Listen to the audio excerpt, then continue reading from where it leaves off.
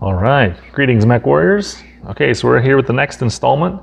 We're going to be priming up our uh, Battlemaster that we've got all clean and ready to go, mounted on a little cork for ease of painting and angles.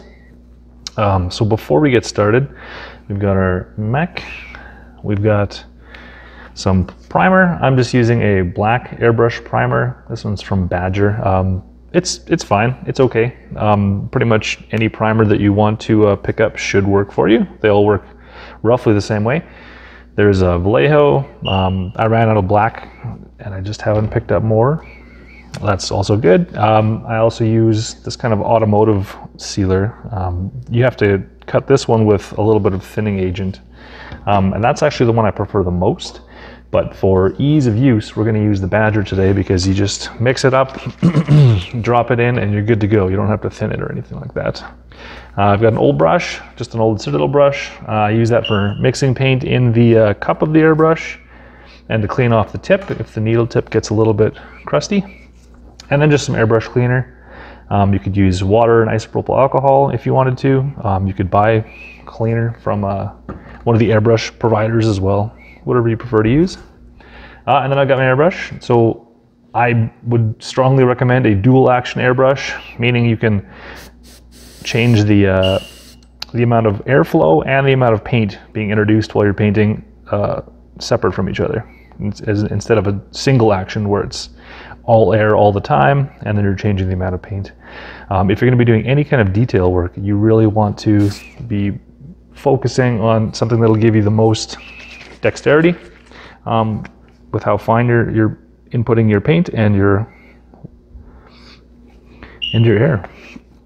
so first up, I'm just putting a little bit of water from my little little water container here, uh, a couple drops in the cup. I always start off if I'm just starting out my airbrush for the day, a little bit of uh, fluid, clean fluid in it, just so it's not paint or primer stuck directly down into the uh, the airbrush. That way I'm not going to have an issue with paint drying or kind of crusting in the bottom down there. And then a couple drops of our primer. We don't need a whole lot. This guy's pretty small. I like airbrush primer because it's uh, it's thin, it's uh, easy to uh, easy to apply in thin layers. I don't have to worry about it getting all gummy or crusted up or anything like that. Drop my brush here. You can use rattle cans; they'll stick on a lot more. But uh, but I definitely prefer to use my airbrush uh, just because I can you know prime any time of the year. I don't have to go down to the garage to do it. It's not super stinky. It's just really easy and accessible for me.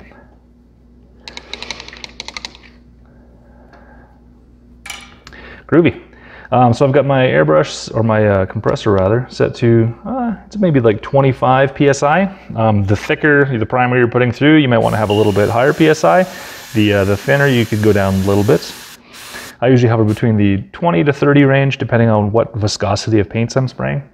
And then uh, I'm also keeping in mind that I don't want to do a big thick layer, I'm going to probably do a couple small passes from different angles, just making sure that I'm getting all the parts of the model covered. All right, so let's start off here.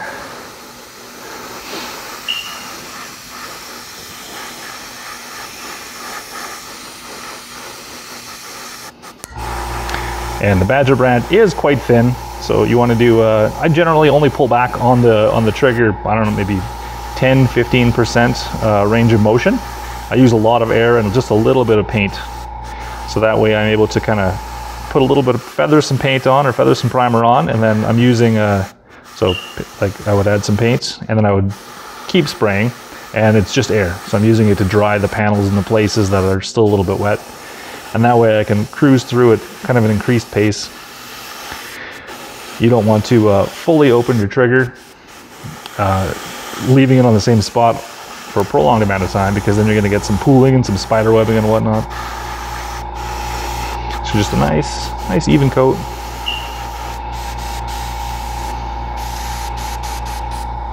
I think that's, oh, we're out. Pretty good. There's a couple spots in the crevices and like in his armpits and stuff that are a little bit shy. So we'll just fix those real quick.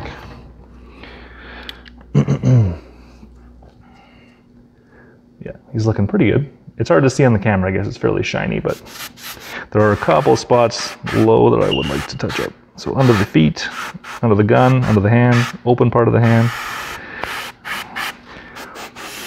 I'll usually come at them from the underside first, and then I'll swap over to a mid-range pass, and then I'll do a top pass. That way I make sure that I've got all the angles, nothing's missing.